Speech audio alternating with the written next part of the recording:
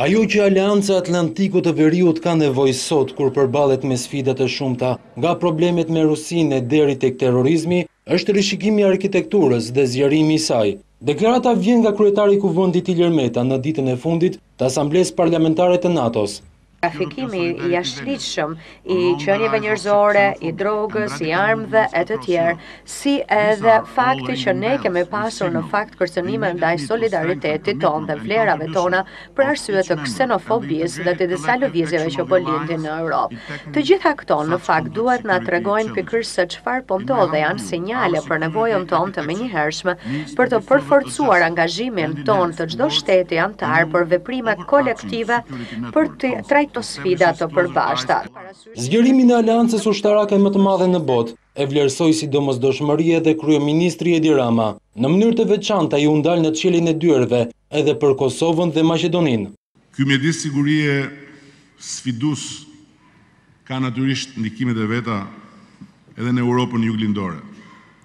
Me gjithë rëndësinë e padiskutueshme që ka rajoni ynë për Bashkimin Europian dhe për NATO-n, sot ai mbetet një hapësirë ku as Bashkimi Europian, Dhe as NATO nuk janë shtrirë ende plotësisht, duke e lënë kështu të paplotësuar nevojën për një Europë plotësisht të kompletuar dhe tërësisht të lirë. Përveç përballljeve me problematika të shumta me të cilat është e angazhuar Aleanca, pjesë e së cilës është edhe Shqipëria, kreu i qeverisë u ndal edhe në problemet e brendshme të vendit, e ku prioritet mbetet reforma në drejtësi. Miratimi dhe më pas zbatimi i kësaj reforme thelbësore në procesin e integrimit, që për ne është një proces i pandërprerë modernizimi i shtetit dhe institucioneve, Do të përbëjë një moment shumë të rëndësishëm për të hapur një kapitull të ri të konsolidimit demokratik që përkon me një hap të ri në procesin e integrimit europian, çeljen e negociatave për anëtarësim.